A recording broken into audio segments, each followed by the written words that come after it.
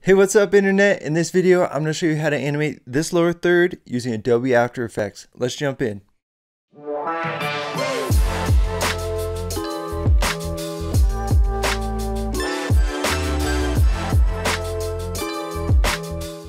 Go ahead and jump into this tutorial. Uh, I just want to take one last look at the lower third that we'll be creating. Uh, it's a really basic and kind of simple modern um, lower third that can be styled in many different ways with different fonts.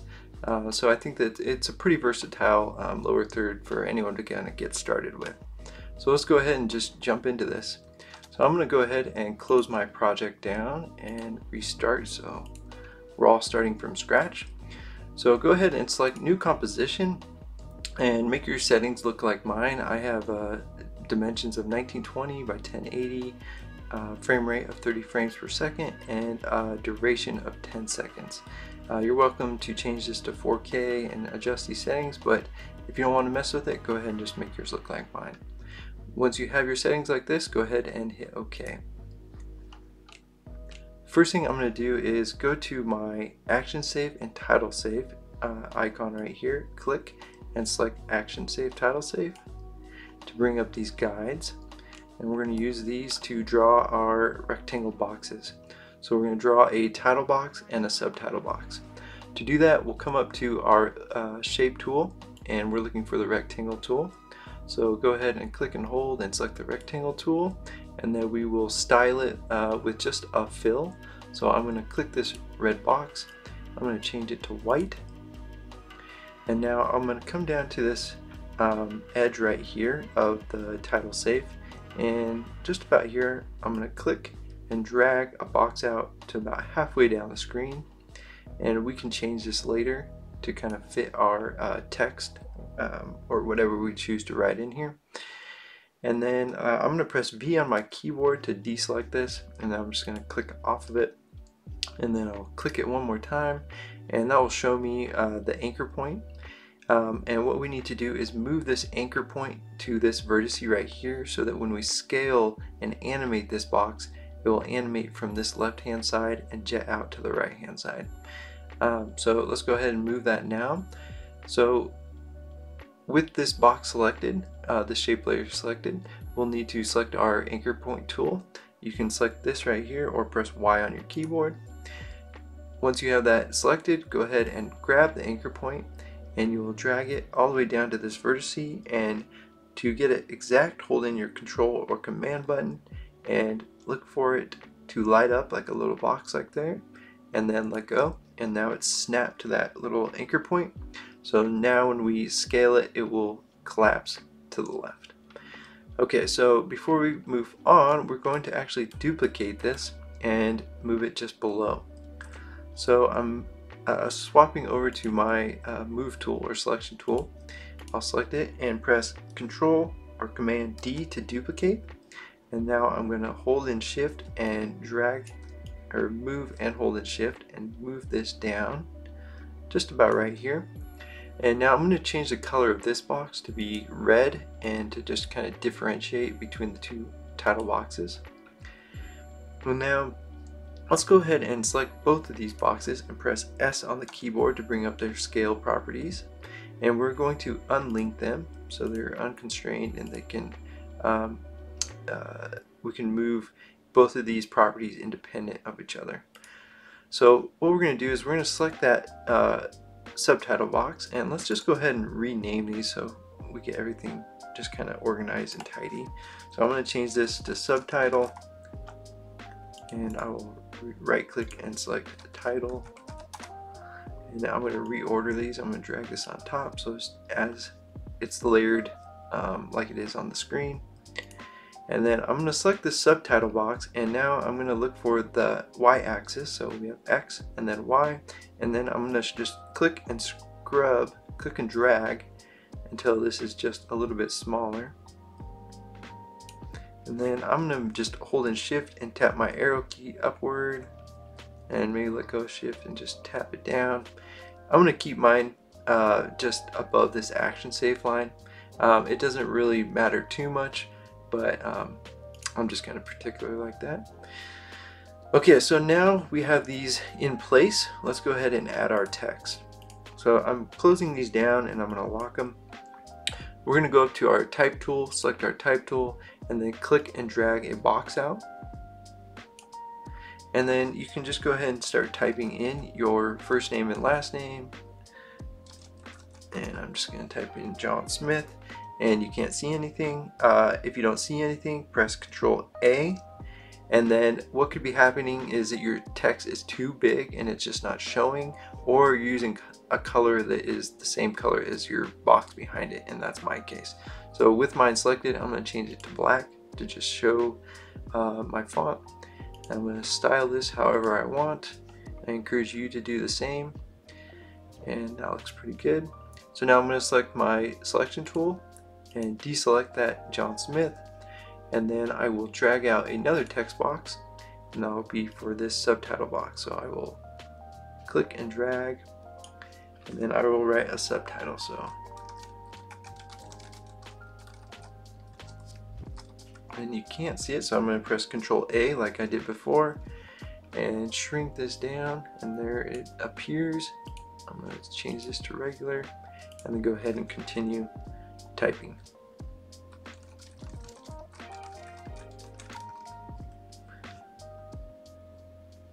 Then I'll select my selection tool once again and now I'm just going to use my keyboard um, arrows to just kind of center this with my eyes and same with John Smith.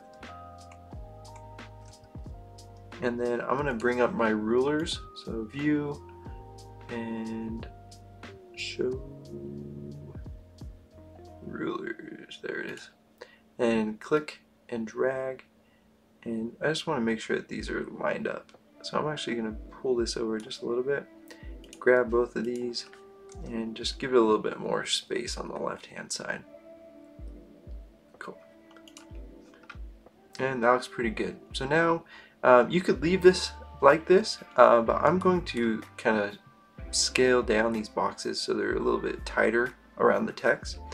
So I'm going to lock the text, unlock the title boxes, press S on my keyboard, and now we're going to adjust these um, X properties. So we'll start with the title. I'll click and drag this to the left, somewhere right about here. I can keep it kind of e equal distant, um, this like white space on both sides. I'm holding in control as I'm scrubbing this and that just kind of slows down the speed of the scrub and I might just type in 54 yeah that looks good. Okay so now I will scale this one down. Holding control as I kind of get close. And that looks good to me. Alright so that will be the design. Now what we'll do is we're going to start animating these uh, boxes. So we'll start out with, um, let's just kind of reorganize our layers just really quick. So I'm going to move this animation subtitle text just above the subtitle box. So we have both elements down here just next to each other and then same with the title box and title text. Okay, so now let's go ahead and animate these boxes. So I'm going to move my playhead to 10 frames and then I'm going to um, hit the stopwatch here to put a key uh, for those values on the title box and the subtitle box. Now let's go ahead and rewind the playhead all the way to the start and we're going to change these values to zero. So I'm going to click this one and type in zero. Select this X value and type zero and enter. And now when you scrub on the timeline on this playhead, you can see that they're now animated on. I'm going to come to one second and press N, the letter N on my keyboard to trim the work area down. So now when I press spacebar and to do a RAM preview, you can kind of see this animated on in old loop. And that's looking pretty good. Uh, I'm going to make it just a little bit nicer by adding some easing. So I'll select all these keys. I'll right click go to keyframe assistant and easy ease. Now we'll play that again and that just adds a little bit more softness to the beginning and end of that motion. Okay, the next thing we'll do is we will um, animate the text on. So let's go ahead and just kind of close those up so it's just a little less distracting. We'll select the text on both of those, the title and subtitle text, and press P on the keyboard. And let's come to uh, the 20th frame and add a key on both of those. We'll come to 10 frames, we'll rewind to 10 frames, and now we'll move these um, pieces of text out of the way. So I'm going to start with the, the main title text and what I'm going to do is I'm going to click it and then click and drag this downwards while holding shift so it constrains it to the that axis. And what you want to do is you want to make sure that you move this text completely out of that box. I've had it where I've just barely clipped it and you can see it showing. Uh, we just want to make sure it's completely out of the way. And that looks good. So now when I scrub on the timeline, on the playhead, you can see it now animates from the position we put it to where it was. Just like that. Now we're going to do that same thing for the subtitle text. But I'm going to shy that so we don't see it. Come to that subtitle text and we'll do the opposite. We're going to select it and drag it upwards and out of the frame of that box. Make sure it's not clipping uh, if you need to, you can turn on transparent background. So I'll click this box right here and to just get a better view and that looks good. Okay, so now when I scrub this down or scrub the playhead, you can see it animate on. Alright, so let's make this animation just a little bit nicer. We'll select these keys, we'll right click, say keyframe assistant and easy ease. And then let's press uh, spacebar uh, after we show that one to just kind of get an idea of how these are working. Alright, so that's looking pretty good, but now we need to make it so that we cannot see the text when it's outside of the box. To do that, we're going to use an effect called Set Matte. So come over here to the Effects panel. If you don't see that, go uh, Window, Effects and Presets, and then you'll see this. When you have that popped open, just type in Set Matte, and now what we'll do is I'm going to just illustrate this by showing just this John Smith. And I'm going to have it overlaying just like that. So now when I click and drag this to that text layer, the John Smith text layer, um, it's now applied and it's up here in the effects panel. We'll come up here and we're going to select um, this option right here and we're going to change it from its actual text to the box below it, so the title box. As soon as I select that, you can see that all the text beyond this uh, shape's boundaries get clipped and essentially disappear. So now when I scrub the timeline, it doesn't show up until it enters that box. Voila. Alright, so now let's do that same thing but to the subtitle box. So I'm gonna just hide those and show the other ones. And we'll see. We'll do the same thing. I'll have it halfway. I'll select this layer the text layer. And rather than click and drag I'm just gonna double click on this. It will apply that uh, same effect that is up here. I'll change this from its actual uh, text layer to the box below it. And you can see it gets clipped. And we'll just kind of scrub through to make sure everything looks good and that's looking great. So we'll show all the layers, press spacebar on the keyboard and see how that's animating. Alright, that's looking pretty good. So now let's finish this by doing the reverse so it can uh, animate out. So to do that, I'm going to uh, move my work area to about four seconds.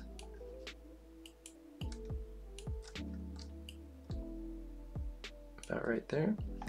And then um, I'm going to show all the keys. So I'll select all these layers by holding in shift and clicking the top one and the bottom one. And then press U on your keyboard to show all the keys. And now uh, essentially all we got to do is copy and paste these in the same uh, distance that they are down here, but in reverse. So we'll just start from the top. Okay, so um, we'll start with this key right here. We'll select this, press Control Copy, and it is 20 frames in, so we'll go 20 frames back, which would be right here, and I'll paste that right there by pressing Control and V. Then I'll select this frame, press Control C, move 10 frames in front and paste that. So now it reverses out back to where we initially had it. Now we'll do the same thing for this next layer. So I will select the first key right here, come right here and then paste that. Select this key, Control C, move to the very end, paste that.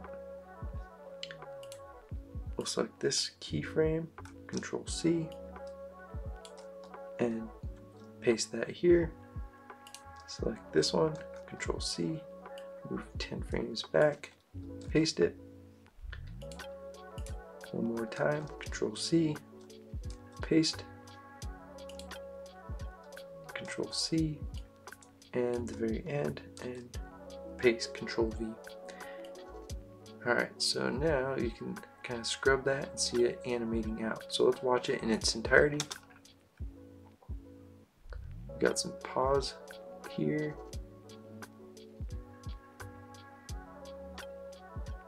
Cool. All right, so um, that's pretty much it, but I just wanted to show you if you want to change the duration, uh, you can extend this to whatever you want, so five seconds, and then select these frames. Now I'm gonna actually move my playhead to five seconds, and then I will click and drag these and hold in my shift key so it snaps that keyframe right here where we want it. So if you need your um, lower third to last a little bit longer on screen, you can adjust it by moving these keys back and forth. And that pretty much concludes this tutorial. If you want to see how you can uh, export this to be used in Adobe Premiere or your video editor choice with a transparent background, check out this next video.